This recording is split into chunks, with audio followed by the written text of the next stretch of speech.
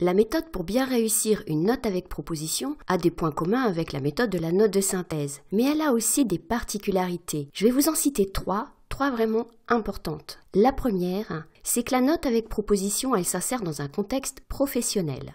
On a une mise en situation, en général les propositions, on les fait à un supérieur hiérarchique un supérieur hiérarchique qui lui-même a un pouvoir de décision et il importe de bien déterminer le champ de ce pouvoir. Inutile de lui proposer des choses qui sont complètement en dehors de son pouvoir de décision. Par exemple, un décideur local dans une structure ne va pas avoir le pouvoir de remettre en cause le principe d'une législation. Donc inutile de développer les défauts de cette législation.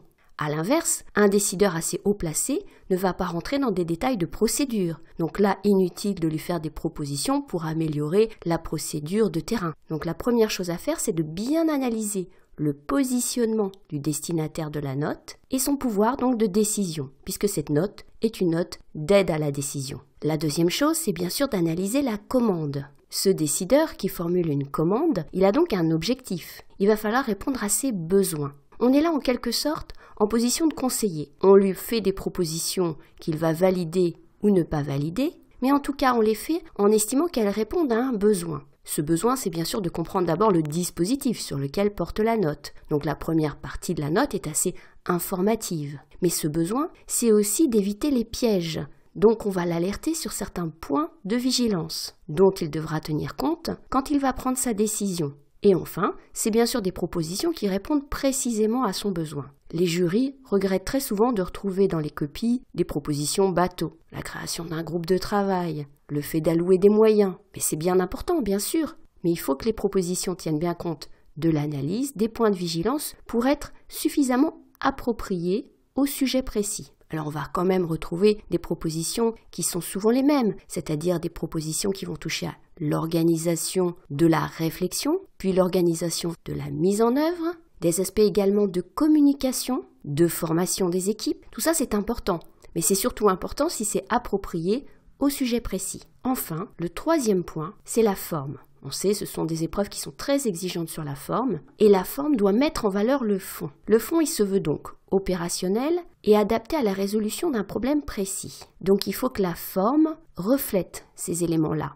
Par exemple, quand on va faire des propositions, on va utiliser souvent des verbes à l'infinitif. On va dire non pas la mobilisation des équipes, on va dire mobiliser les équipes pour montrer qu'on est dans l'action. Et en même temps, on va prendre les formes qui respectent le niveau hiérarchique et le positionnement de chacun. On va pas dire on devra ou il faudra mobiliser les équipes, on dira il est important de. On n'a pas un pouvoir d'imposer, c'est au responsable de le faire. On lui suggère des actions et donc les verbes qu'on va utiliser devront bien refléter ce positionnement. Donc il faut faire très attention en particulier à l'usage du terme devoir qu'il faut bien réserver au cas où effectivement la structure doit respecter un certain nombre de choses qui sont imposées par les textes et non pas imposées par le rédacteur de la note qui n'en a pas le pouvoir. Enfin, sur la forme, on peut utiliser des formes personnelles. On peut dire je vous propose deux, ce qui est un peu différent de la note de synthèse classique. Il ne faut pas en abuser, pas mettre le rédacteur au centre de la note, mais néanmoins, on peut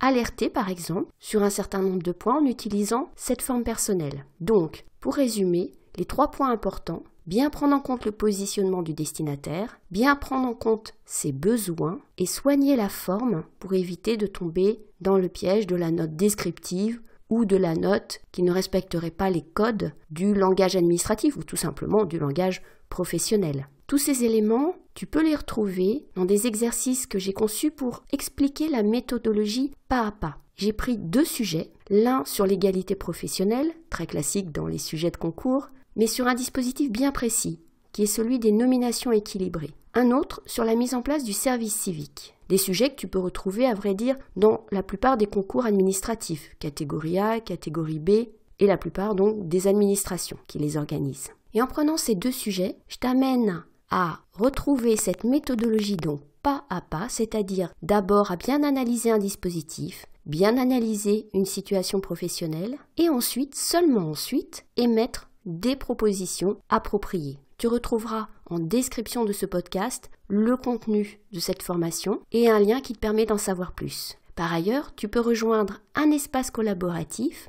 sur Slack qui te permet d'échanger avec d'autres candidats au concours de la fonction publique, de poser des questions, d'accéder à des ressources. Là aussi, tu trouveras le lien en description de ce podcast. Et puis bien sûr, tu vas retrouver sur YouTube, dans une playlist qui est vraiment consacrée à la méthodologie, des conseils méthodologiques, et puis d'autres playlists sur différents concours de la fonction publique. J'espère te retrouver bientôt sur YouTube, bientôt sur Slack, et je te souhaite bon courage, bonne chance, bonne préparation pour les concours que tu prépares.